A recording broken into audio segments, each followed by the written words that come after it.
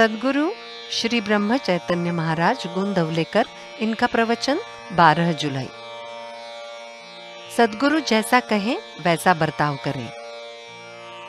शुद्ध भावना, यानी बदले में न लेने की या फल की आशा छोड़ने की इच्छा। भक्ति भी ऐसी निरपेक्ष होनी चाहिए। ऐसा नहीं होता कि देवालय बनवाए, भगवान का पूजन अर्चन किया तो भक्ति निरपेक्ष हो गई। ऐसा नहीं लगना चाहिए कि भगवान की सेवा करते हुए, जप करते हुए कुछ प्राप्त हो।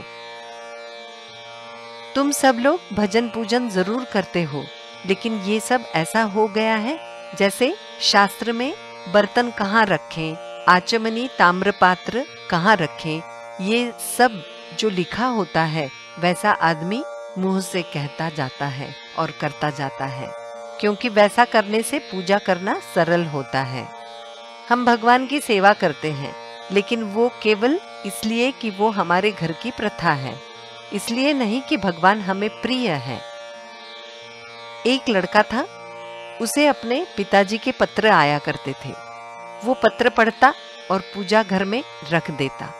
दूसरा पत्र आता तो उसे पढ़ता और फिर पिछला पत्र अलग कर देता। एक बार उसके पिताजी ने पच्चीस रुपए मंगवाए।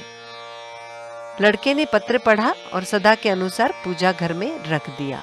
फिर कुछ दिन बाद पिताजी की ओर से एक सज्जन आए और उससे बोले, तुझे अपने पिताजी का पत्र मिला था या नहीं? वो बोला हाँ मिला था।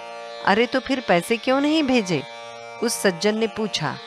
उस पर वो बोला, ओहो, देखिए, बस वही करना रह गया। तो ऐसा हमारा भी होता है। हम कृति करते हैं पूज्य भाव आदि रखते हैं, किंतु सदगुरु का कहा मात्र मानते नहीं हैं। इसलिए हमारे सत्कर्म, हमारा अहंकार कम करने का कारण नहीं बनते। उल्टे हमारा अहम भाव बढ़ाने में सहायक होते हैं। अतः सदगुरु का बताया हुआ साधन ही हम प्रामाणिकता के साथ संशय रहित होकर करें। इसके लिए व्यवहार छोड़ने की आवश्यकता नहीं। हम व्यवहार को न छोड़ें, किंतु व्यवहार में उलझना भी नहीं चाहिए। युद्ध में सारथी के हाथ में सब कुछ होता है। वो लगाम हाथ में लिए सावधानी के साथ खड़ा रहता है और जहाँ उचित समझता है, वहाँ ले जाकर रथ को खड़ा करता है। युद्ध में लड़ने वाले का काम केवल बाण अचूक दिशा में अथवा व्यक्ति पर छोड़ना होता है। वैसे ही अपना समस्त जीवन एक बार सदगुरु के अधिकार में दे देने के बाद फिर वे जैसा कहें, वैसा व्यवहार करें। यही हमारा कर्तव्य होता है। ये ध्यान में रखें कि जिसने संसार से किसी प्रकार की इच्छा नहीं रखी है, उसका तेज, उसका प्रभाव सबको मानना ही पड़ेगा। रुपया उठाने पर दोनों बाजुएँ एक साथ अपने हाथ में आती है।